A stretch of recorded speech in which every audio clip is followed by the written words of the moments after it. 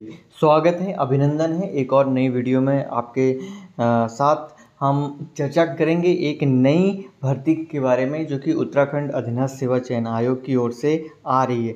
जी हाँ जैसे कि आपको पता है कि लगभग चार हज़ार से ऊपर पदों के लिए भर्तियाँ आ रही हैं तो इनमें से एक पद यहाँ पे आप देख सकते हैं वैज्ञानिक सहायक का है।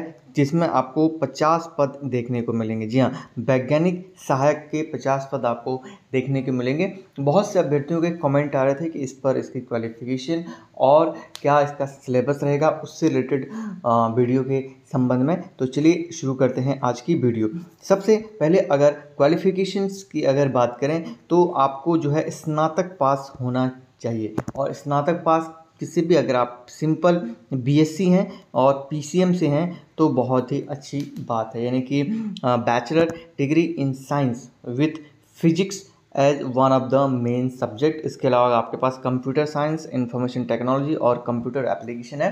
तो एड ऑन इसमें गुड ऑन हो सकता है। लेकिन सिंपल सी अगर बात कहूँ तो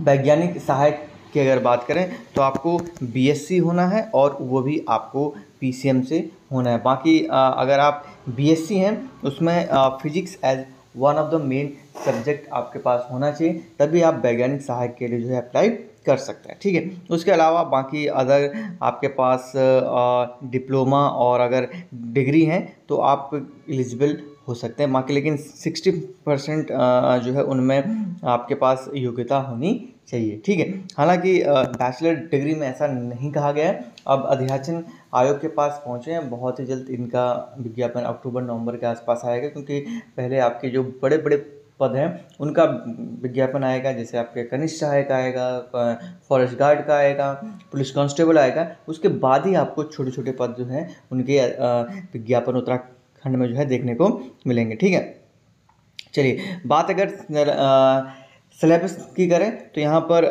दो मेनली पार्ट्स में ये होता है। अब ये देखना है कि आयोग किस तरह से इसका एग्ज़ाम कंडक्ट कराता है, क्योंकि यहाँ पर general intelligence quant English language और जनरल अवेयरनेस और दूसरा जो पेपर इम्पोर्टेंट होता है, उसका आपका सब्जेक्ट से रिलेटेड होता है।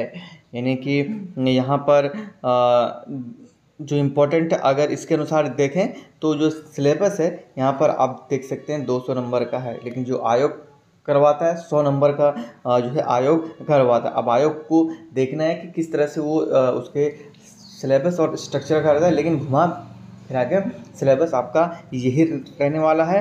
यहाँ पर आपकी जनरल इंटेलिजेंस, क्वांट लैंग्वेजेस या फिर जनरल अवेयरनेस आपको देखने को मिलेगी और उसके बाद आपका जो पेपर है, उससे चीज़ें देखने को मिलेंगी लाइक आपके physics computer science information technology वगैरह वगैरह। ठीक है? चलिए, और बाकी एज लिमिट की बात करें तो जो एज होगी आपकी थर्टी ईयर यहाँ पर जो है मैक्सिमम रहने वाली है। ट्वेंटी वन टू थर्टी यहाँ पर होती है। बाकी S C S T O B C की अलग अलग जो कैटेगरी होती है उसके अनुसार यहाँ पर अलग अलग जो है वैज्ञानिक सहायक की जो एज होती है। ठीक है? तो ये रही सारी डिटेल और उसके अलावा और भी आयोग की ओर से जो पद आ रहे हैं। उससे रिलेटेड हम लगातार वीडियोस के माध्यम से आप तक इन्फॉर्मेशन पहुँचा रहे हैं। तो बाकी वीडियो अच्छी लगी हो तो लाइक कर दीजिएगा और चैनल पे पहली बार आए हैं तो सब्सक्राइब करना मत भूलिएगा। मिलते हैं नेक्स्ट वीडियो में। टिल देन जय हिंद, जय भारत, जय उत्तराखंड।